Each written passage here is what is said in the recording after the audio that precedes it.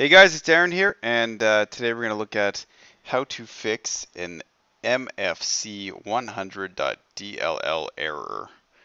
Alright, so uh, you get this error in many different ways, but I do have a quick fix for you. So you just hit up the link in the description and you download the 32-bit version of the software from Microsoft, install it, and you're good to go. I think you have to restart the computer, but you're pretty much good to go.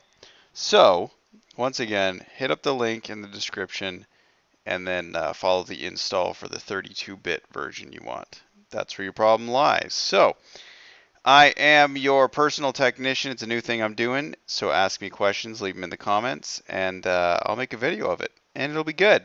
We'll do it together. I'll hold your hand. How does that sound?